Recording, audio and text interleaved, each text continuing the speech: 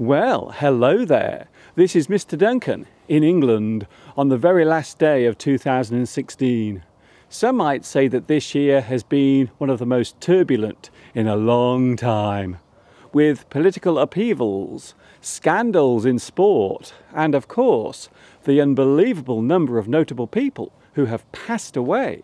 2016 has been a very eventful year indeed. On a lighter note, how was your festive holiday? Did you celebrate Christmas? Did Santa Claus bring you everything you asked for?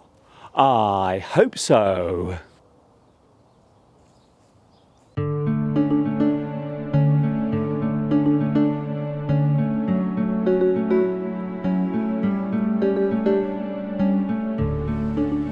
So, another year is coming to an end. How was 2016 for you? Did everything go as planned, or were there some unexpected hurdles along the way to get across? The end of another year brings with it many things. We often end up reflecting over the past 12 months. We look back over the year and try to work out if it was a good one or not. Did I accomplish everything I set out to do? Did I do enough to make my life better? Will I look back and remember this year fondly or view it with regret? Perhaps you will come to the conclusion that despite all the negativity during the past 12 months, for you, it was not a bad year. It could have been much better, but then again, it could have been so much worse.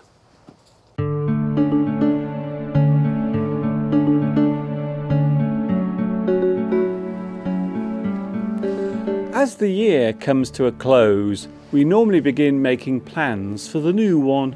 We lay down some ideas for the following year. Perhaps there is a part of your life with which you are unhappy. You might feel as if some changes have to be made. A change of career, perhaps. Maybe there is some place you have always wanted to travel to. Perhaps next year will be the time to go there. We call these changes resolutions. These are the things we resolve to do. You might just have a couple of resolutions, or maybe a great long list of things you wish to change.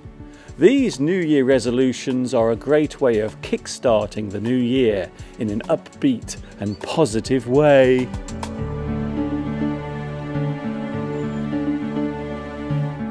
With each passing year, we all become a little older. There is nothing we can do to stop this from happening. It is inevitable, unavoidable, unstoppable. It is to be expected.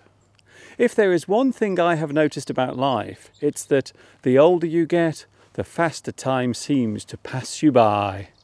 When I was a young boy, time seemed to go by so slowly. The hours seemed like days, the days seemed like weeks, and the months seemed like years, and the years seemed like forever. Youth makes fools of us all.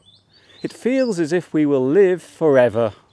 Time seems endless. Eternity is our playground. Of course, this is not true. Once you pass a certain age, time begins to speed up.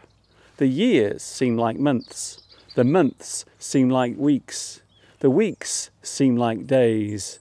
You find yourself asking again and again, what happened to this week? Where did the year go? Is it really December again?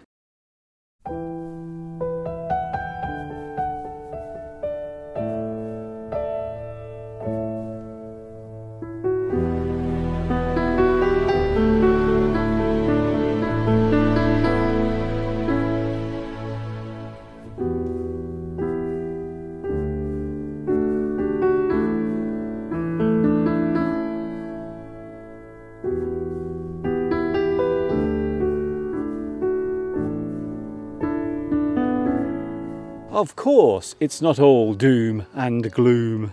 There is a bright side to all this. Age need not be a hindrance or barrier. Time can also be its own reward.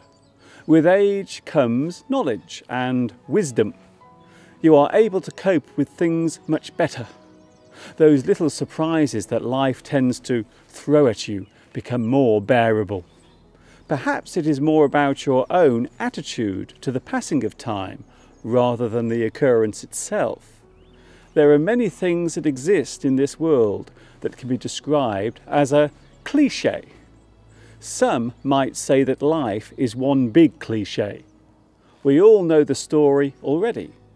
We know how it starts and we certainly know how it ends. But it is up to you to make the big chunk in the middle the way you want it to be. After all, life is what you make it.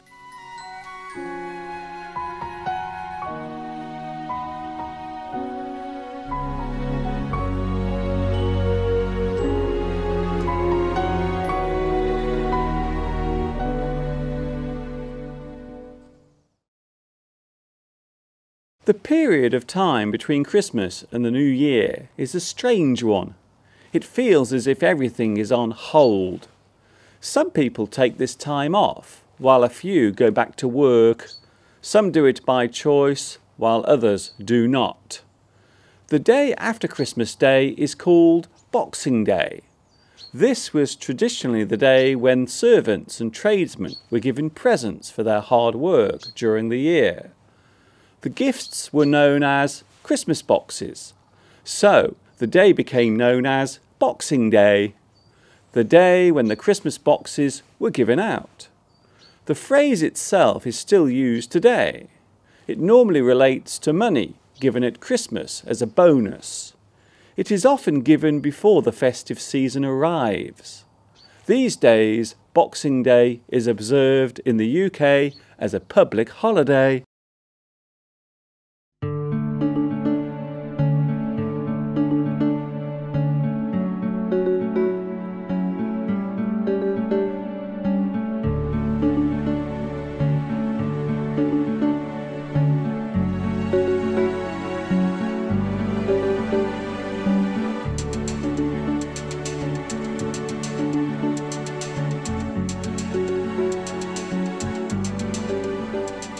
So, have you made any New Year's Eve plans? How will you see in the new year? Some people get together and have a party so they can see in the new year together. In Scotland, the new year is seen as an important festival. It is called Hogmanay. This is the name the Scots give to the final day of the year. The traditional Hogmanay celebrations begin on New Year's Eve and go on right through the night until the next morning. It is common for firework displays to be held as the new year arrives. As the clock strikes 12, the fireworks will begin. Most major cities around the world have firework displays to coincide with the arrival of the new year. The most famous ones are Sydney, Hong Kong, New York, and London.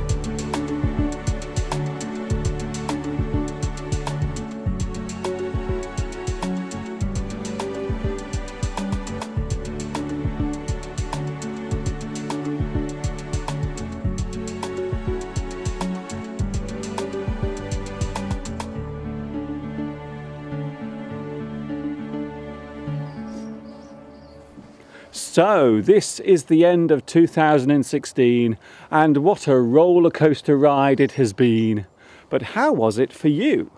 Was it a good one? Let us all hope that 2017 will be a prosperous one, and, however idealistic it might sound, for most of us, a peaceful one. I will see you all again next year, which is just around the corner. This is Mr. Duncan in England saying thanks for joining me during 2016. And may I take this opportunity to wish each and every one of you a joyous, happy, fun filled new year. And of course, for the last time ever in 2016, ta ta for now.